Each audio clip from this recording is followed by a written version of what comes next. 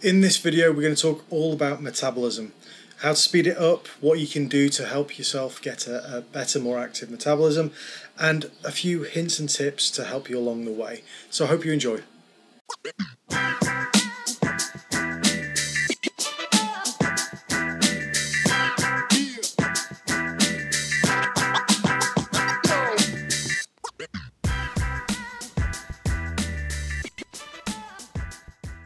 My name is Mark and I'm here to help you live a better, healthier life. My goal is to help as many people as I can get into shape and improve their quality of life. Now remember if you like this video please do hit the like button and without further ado let's jump right in.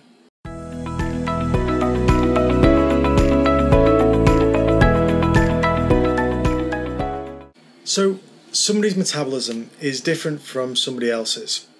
It varies on lots of things in terms of what um, you know your composition of your body is, fat, muscle, all the rest of it. And we'll talk more about that in a second.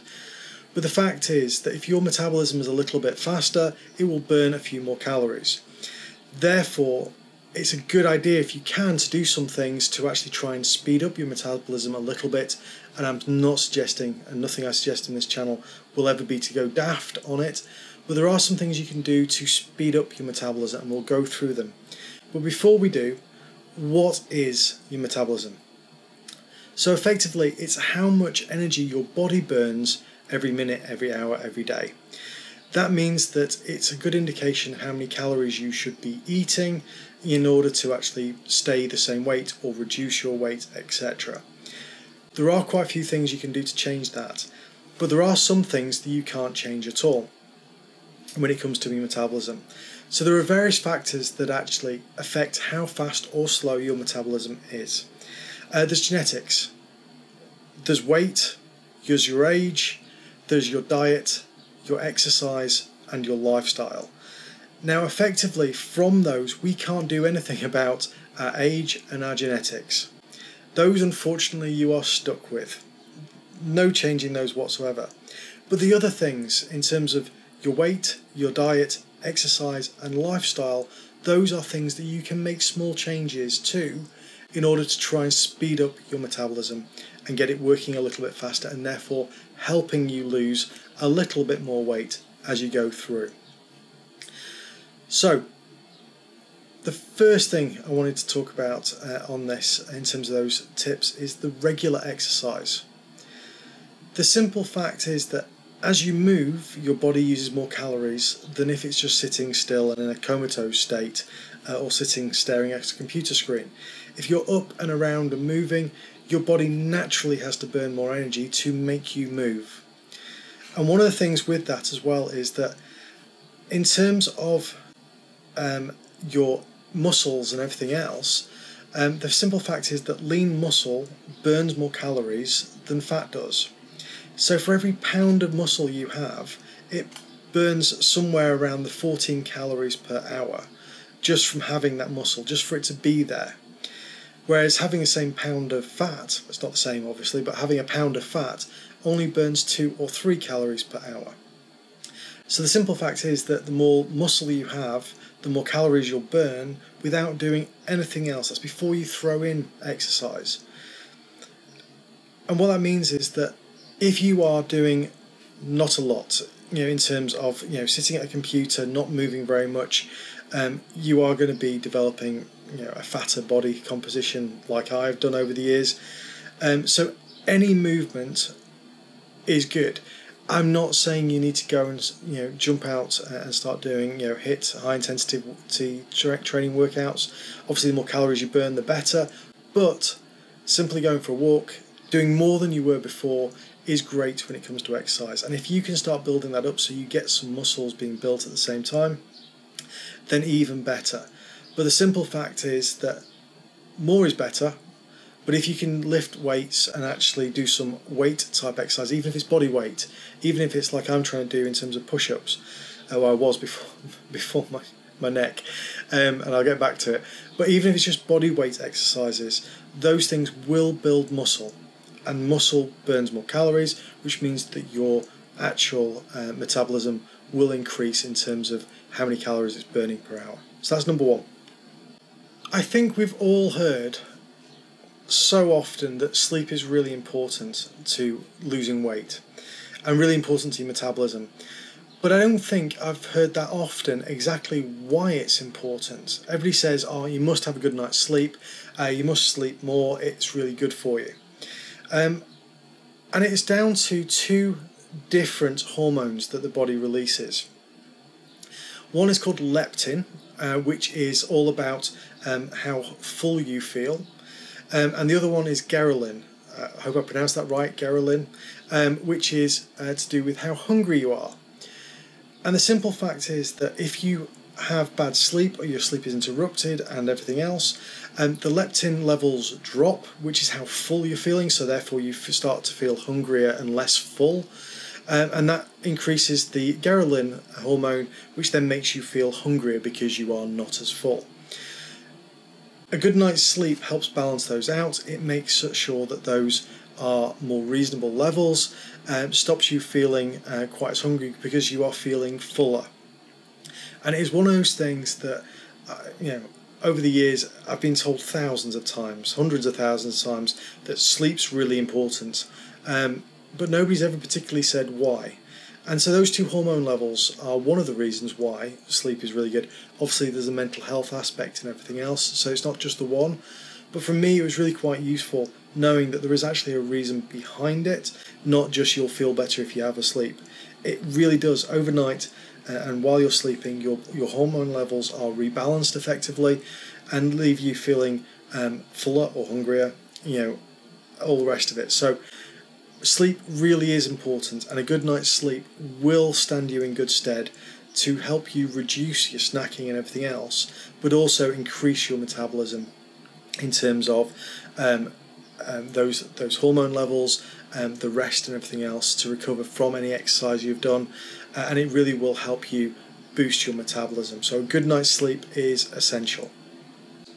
The next one there, in terms of speeding up your metabolism, is water, and this is twofold. So, water is essential for our life, absolutely. Um, it hydrates the skin, it hydrates the body, you know, that's all um, great uh, and necessary. Um, but water is also the key component in your body breaking up fat. Effectively, and I've done a different video on this, uh, which I'll try and link somewhere. Essentially, when fat is broken up by the body, uh, it is not, you know, um, put through down the toilet in, in, sort of waste, or a very small percentage of it is.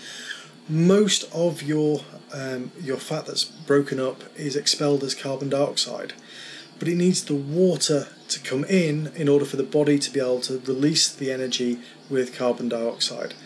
And so, water is key to losing weight. It's also key for your body to actually running it optimal in terms of um, you know how the cells are working, how the energy um, system is working, any metabolism. Um, so if you are dehydrated, your metabolism will slow down um, and cause all sorts of problems, as well as the body having uh, challenges when it comes to breaking up the fat molecules that it's stored.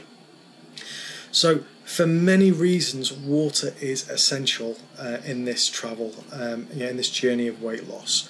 Um, from the splitting up of the uh, the fatty cells when the body is using the energy, to your cells working optimally, optimally. I can't speak properly. Optimally, um, and actually your metabolism being at its peak that it can be. So that is a fundamental thing when it comes to, to weight loss. You need water in order for the body to break down the fat, and your body needs water for the cells to be hydrated and to be running at decent levels when it comes to your metabolism. So, one of the factors that could be if you've got slow metabolism is a lack of water in your diet. I don't know about anybody else, but certainly there have been years in my life where I've drank more fizzy juice than anything else. And yes, it's mostly water, but it's got so much other crud in there. Um, tasty crud, I have to say. But still, it's not what you're looking for when you are trying to speed up your metabolism if you're thinking it's running slowly. So, water, essential in this journey. Now, this one might be a little bit contentious because obviously there's a big craze at the minute going for, for intermittent fasting and OMAD and everything else uh, in terms of where you restrict your, your meals and your calorie intake. Um, and that may well, well work for some people fantastically, and if it does, keep on doing it. But generally speaking, in, in order to maintain your metabolism and actually keep it running at its optimal efficiency, we need to eat smaller, more regular meals to keep your meta- metabolism high. Now, it still needs to be calorie controlled and you need to be in a deficit if you're losing weight, etc. But in terms of keeping the, the, the fire going with your metabolism, small, regular meals are the way to actually keep that metabolism running fairly high. Um, you know, as soon as you go into kind of starvation mode, um, the metabolism has a sort of a thing called metabolic adaptation, where if you are starving yourself, your body readjusts and says, I know that we're not getting enough calories, but we're still going to store some of that because uh, we can't keep running at these levels. Um, so, what we're trying to do is avoid that. What we're trying to do is maintain your metabolism going, knowing that it's going to get a next you know amount of energy in form of food, and it's going to come at regular intervals, which then keeps your metabolism going full pelt. Like I said, maybe a little bit contentious. Um, you know, I've seen great results from, from intermittent fasting and from, from OMAD, um, and for some people that is fantastic. But for a lot of people, that's something that they're not comfortable with or, or not happy with. And so, eating smaller, regular meals and putting snacks in between so that you're eating on a kind of consistent pace um, will actually help your metabolism stay high. Okay, and the last of the kind of big ones is caffeine. Caffeine can increase um, your metabolism by 3 to 11%. And you'll notice that it's a massive um, you know, ingredient in the sort of fat burners and pre workout things you're, you're given for, for before gym, etc. I'm not suggesting, I really am not suggesting that you should be drinking coffee by the gallon and getting the jitters after it. But certainly, if you are going to go for a walk in the morning or do some exercise or go to the gym or whatever your form of exercise is, you know, having a cup of coffee before you do it will get your metabolism kick-started uh, and will actually maybe help you perform a little bit better in terms of your time, your energy levels, etc. To get that workout done, you know, whether it's a walk, a gym, sport, whatever it is. So please don't think I'm recommending that you should be drinking you know three gallons of coffee during the day because that will just give you the jitters and make you feel lousy. But certainly having a cup of coffee in the morning before you go for your walk or whatever it is will help get your metabolism going, get it kick started, and kind of get you on the right uh, level for that day. Um, use it in moderation be very careful. Read the labels if you are taking any sort of fat burners or anything else, because most of the ingredients are caffeine related, um, and so therefore, if you're having coffee and that kind of thing, that can make um, you know that can be unpleasant for you. So please do take advice on that.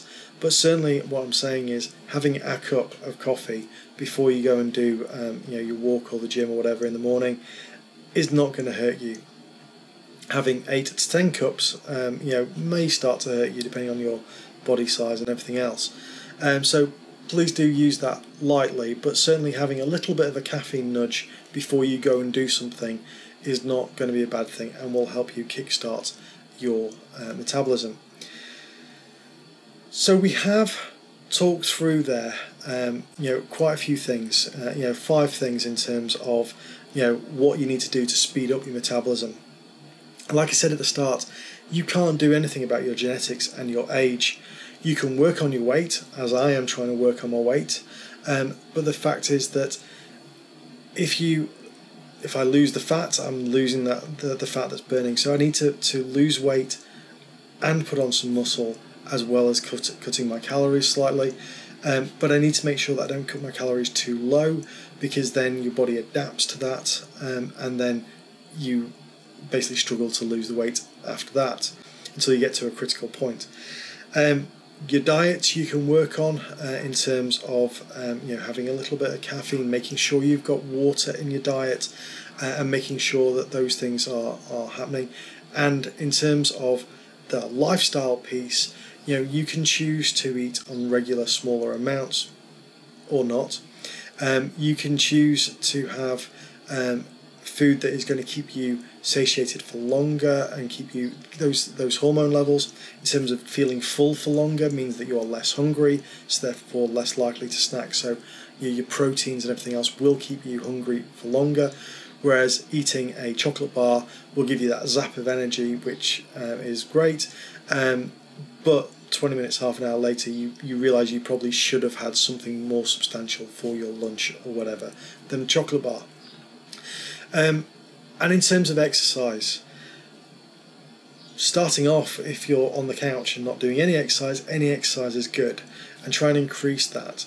And if you can get to the point where you can increase your heart rate and actually get the blood pumping and everything else, and even add in you know weights, whether they're body weights or barbells, dumbbells, resistance bands, whatever it is, um, and start building the lean muscle, that'll be even better for you and burn more calories without you having to do anything else at all. Um, because once you've got that pound, extra pound of lean muscle, then suddenly that lean muscle is working for you all day, every day, every hour of the day, burning more calories as you go through.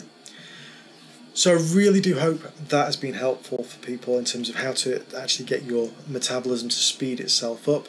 A lot of people uh, do suffer from, from slow metabolisms, and like I said, the genetics and the age you can't do anything about, but there are lots of other things you can do something about. So I hope you enjoyed. Please do hit the like button and leave me a comment, and I will speak to you in the next video.